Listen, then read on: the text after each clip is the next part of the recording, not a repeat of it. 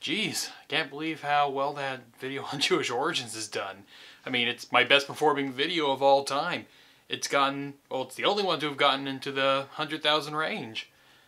I did promise to do a follow-up about the historicity of Exodus, though, and that's, uh, that's taken a while. Perhaps I should look at the comments of that video, just to see if there's anything I missed in the previous, in the first episode, so that I can uh, cover it in the second one. Let's see here. My question is, how did Middle East guy, Jewish people, who is tan became white people? Not racist question, just curious. Huh.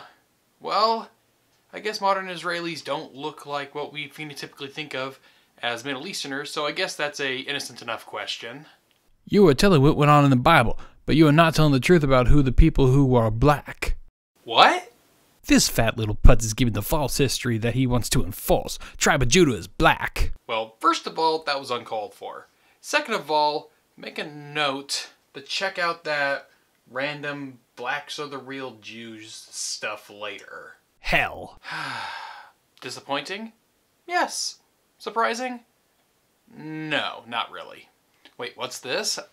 Judaism equals Satanism. Concentration camps as a hoax. Truth against white European genocide where replacement is being cast. You saw what the USA federal government is being Central Bank against diversity hires and affirmative action is being anti-Semitic.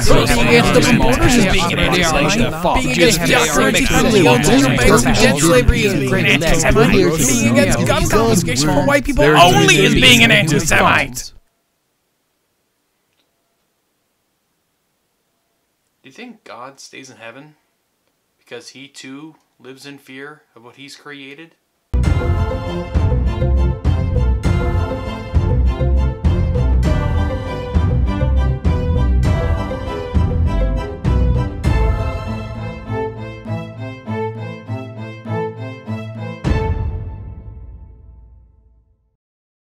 Hey there! So in the previous episode of this series, I mentioned that the next episode was going to be about the historicity of Exodus.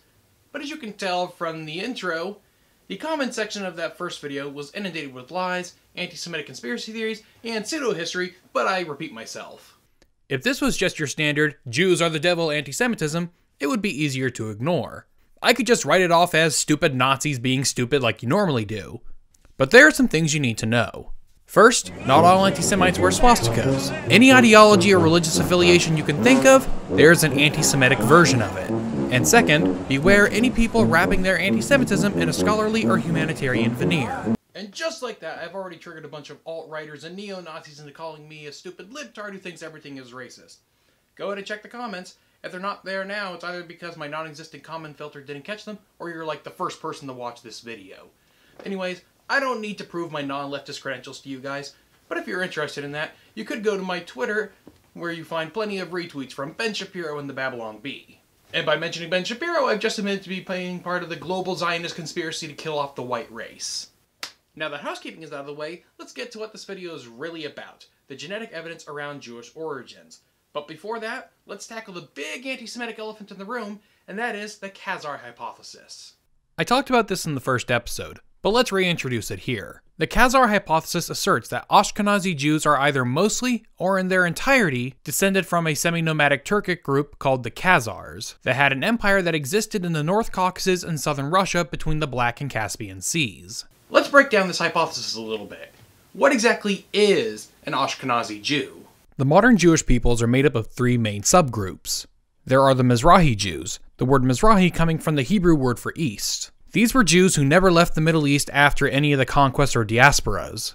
Then there are the Sephardi Jews, the word Sephardi coming from the Hebrew word for Hispania or Iberia, meaning they come from modern day Spain and Portugal. The third and largest of these subgroups are the Ashkenazi Jews, the word Ashkenazi coming from the Hebrew word for Germany, implying their location in Central Europe. Historically speaking, the Sephardis were originally included as Ashkenazi Jews, but when they were expelled from Spain in 1492, most of them resettled in the Islamic lands of North Africa, the Middle East, and Anatolia. From this point forward, the expelled Ashkenazi Jews of Spain and Portugal became their own subgroup, the Sephardi. So from this understanding, we can see that the Khazar hypothesis is claiming that Ashkenazi Jews, and by extension Sephardi Jews, are descended from this group of Turks called the Khazars, Okay, so why are anti Semites claiming the origins of European Jews lie among the Khazars? Actually, why is the wrong question. The reason why is because it's a means of delegitimizing the modern state of Israel and justifying the horrible atrocities that have been committed to the Ashkenazi Jews, because they weren't real Jews, as if that would have made it better. No. The, the appropriate question isn't why do they believe this, but how do they justify their claim? The first leg of their claim is a single primary source from the 10th century. A small collection of letters, referred to as the Khazar Correspondence, was sent between Hasdai ibn Shaprut, a Jewish scholar serving as a foreign secretary to the Caliph of Cordoba, and King Joseph of the Khazars in the 950s and 960s, shortly before the Khazar Khaganate collapsed. In one of his letters, Shaprut said, I always ask the ambassadors of these monarchs who bring gifts about our brethren the Israelites, the remnant of the captivity, whether they have heard anything concerning the deliverance of those who have languished in bondage and have found no rest. Most scholars have interpreted Shaprut's letter to be asking if the Khazars were one of the lost tribes of Israel expelled after the Assyrian and Babylonian conquests. In his response, King Joseph tells Shaprut that the Khazars are not from one of the ten lost tribes, but he does believe that they are descended from one of Noah's offspring, Japheth, who was believed at the time to be the progenitor of the peoples of the Aegean, Anatolia, and Asia. However, King Joseph's response did claim that he did practice the Jewish religion and gave a story for the conversion of one of his predecessors to Judaism. The kings of the Byzantines and the Arabs who had heard of him sent their envoys and ambassadors with great riches and many great presents to the king, as well as some of their wise men, with the object of converting him to their own religion. But the king sent for a learned Israelite. The king searched, inquired, and investigated carefully, and brought the sages together that they might argue their prospective religions. King Joseph says that this predecessor asked both the Islamic and Christian representative which of the other two religions was better, and that they both answered Judaism. To this, the king is believed to have said, If this is so, you both have admitted that with your own mouths that the religion of the Israelites is better. Wherefore, trusting in the mercies of God and the power of the Almighty, I choose the religion of Israel. From there, Joseph goes on to describe the extent of this conversion. He circumcised himself, his servants, attendants, and all his people. A later king is said to have built synagogues, schools, and to have brought scholars in to teach the Torah and the Talmud. However, something that should be noticed about the Khazar correspondence is that it is not a primary source on the conversion of the Khazars to Judaism. The documents are not from the time period being described, which is believed to have been about 200 years before the actual exchange of the letters. So much of this may in fact just be a legend. What the letter does serve as proof for is that some of the Khazar nobility were practicing some kind of Judaism. Proponents of the Khazar hypothesis try to make more of this connection than is really there. They're under the impression that whatever religion the leaders of a polity are, the rest of their people must follow it as well. This is a faulty assumption that probably comes from the European understanding of religion and the state. It assumes that the leaders of a people have more influence on the everyday practices than the evidence merits. And there's evidence that Judaism was not practiced very widely amongst the Khazars. There's documentary evidence from non Khazar sources from both Muslims and Christians, and neither of them describe the common peoples practicing Judaism. Now, the reason we have to use non Khazar sources on this issue is because there just aren't that many sources to begin with.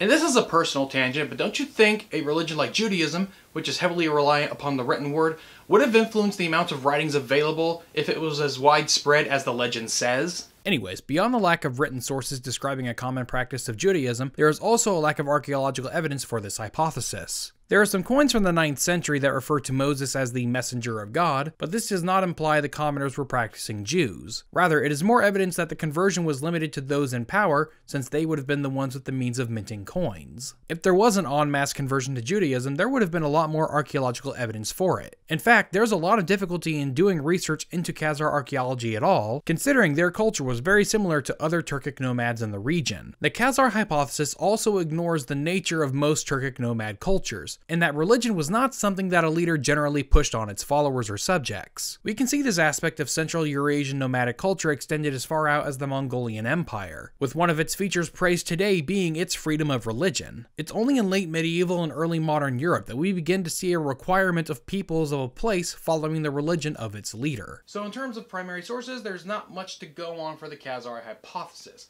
but you will find a couple secondary sources for the Judaism of the Khazars or at least you will find a couple secondary sources that are used to back the claim but in reality, don't. One is from a Jewish philosopher from Spain, Judah Halevi, with his most famous work, the Kuzari. This work retells the conversion story from the Khazar correspondence. What this work proves is that the story was known to Jews living in 12th century Spain. On top of that, the book isn't a historical work, but rather a philosophical and theological one. Halevi uses the legend of the Khazar conversion to Judaism to exposit why Judaism is philosophically better than Christianity or Islam. Another medieval Jewish reference to the Khazars comes from the Book of Tradition, Sefer HaKabbalah, by Abraham ibn Daud. It's a brief reference in the epilogue.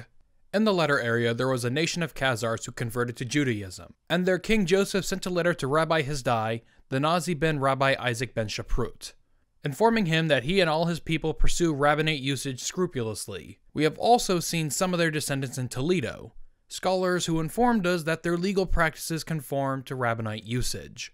There are a couple things that should be noted about this passage that don't entirely hold up the idea that the Khazars converted to Judaism in large numbers. The text references a nation of Khazars converted to Judaism, which implies that there is more than one and that others didn't convert. It also shows that the author is familiar with the legend.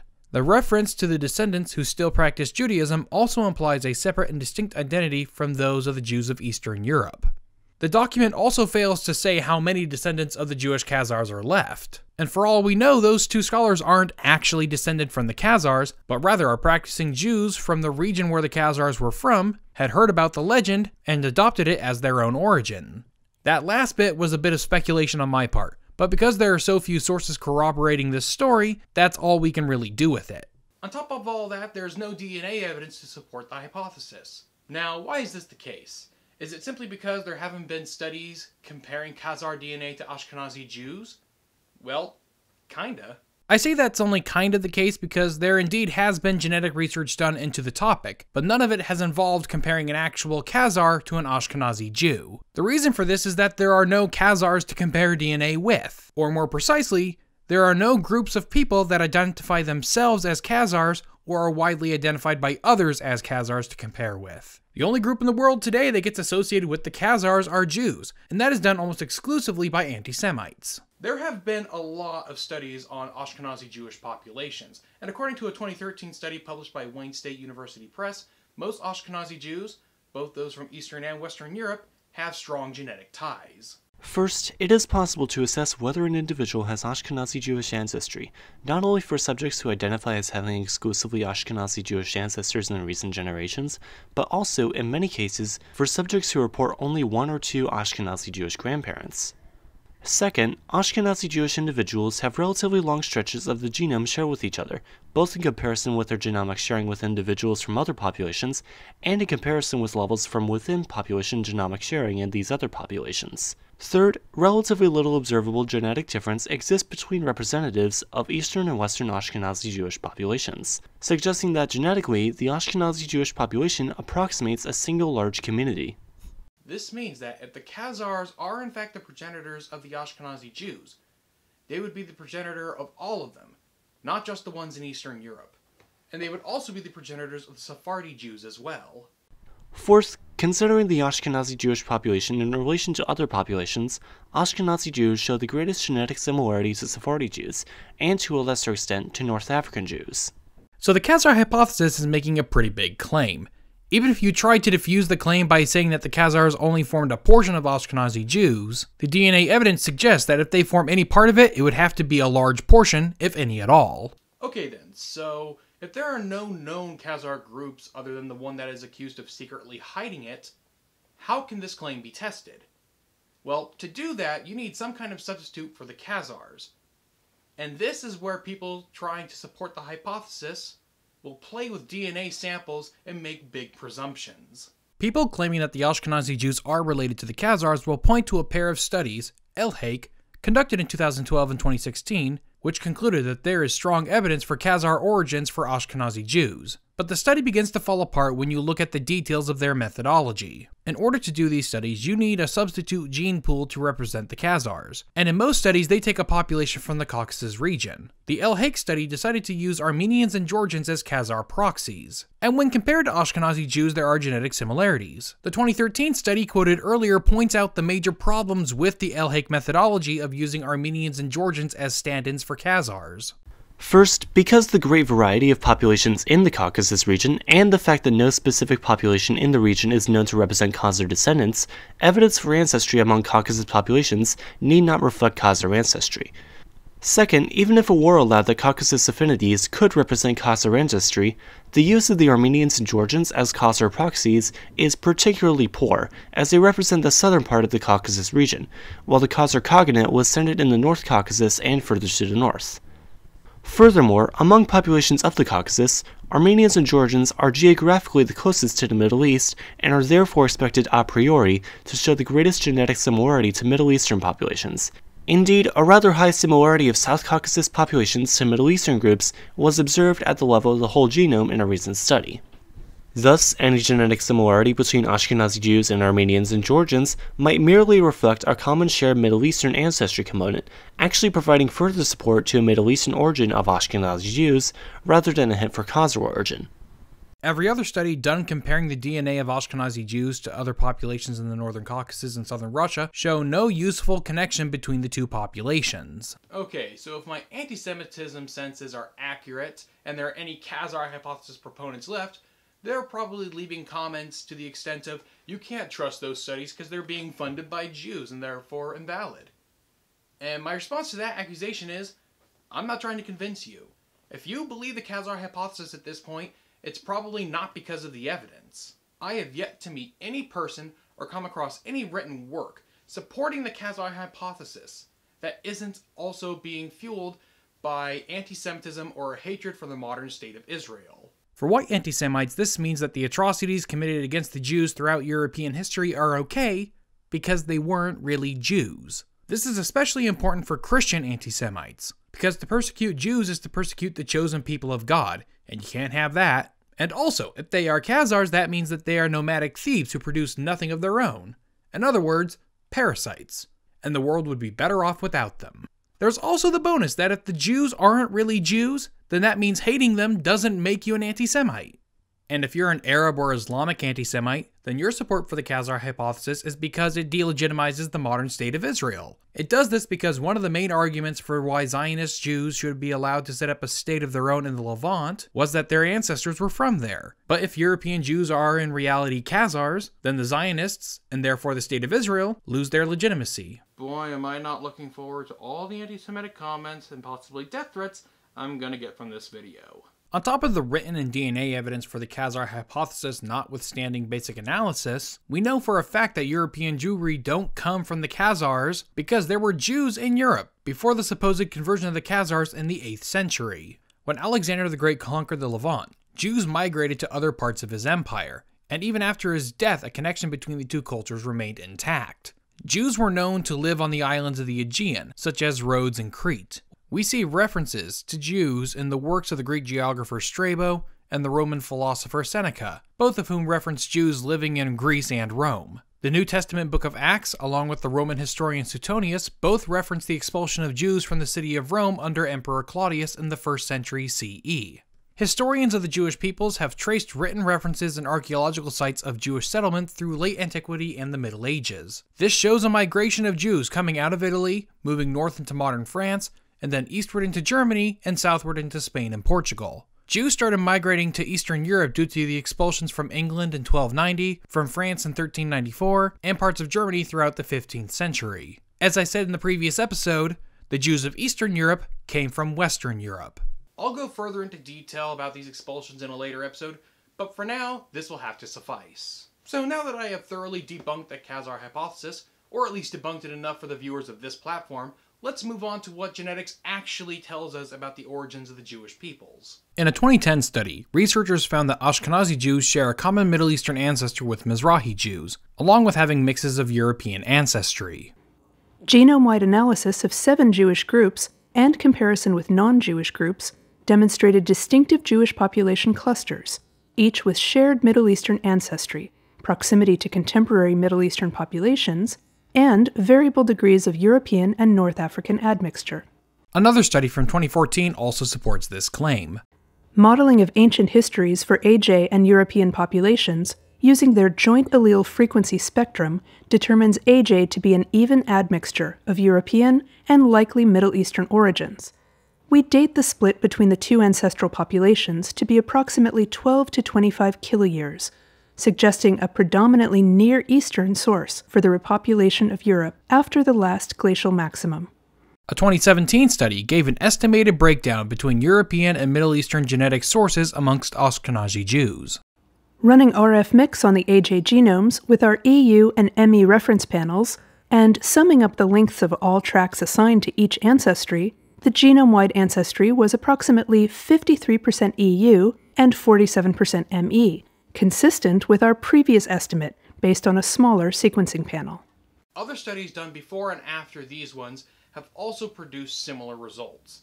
So for those of you wondering why Jews look white despite coming from a Middle Eastern population, it's because they intermarried with non-Jewish Europeans. So there you have it. I know this video may have felt a little light on the actual genetic side of things, but I should remind you that I am not a science guy, I am a history guy.